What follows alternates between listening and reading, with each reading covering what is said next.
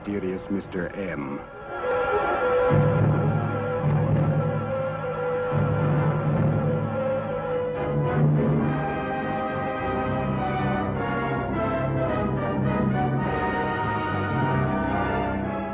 Mr. M was making it hard to get a slab in the morgue than it is to get a room in a hotel. Papers are calling him mysterious Mr. M now. Yeah, by way of letting us know that it's our job to take the mystery out of it. I'm curious to meet the two men that are here with you, Brewster. Come out from behind that screen.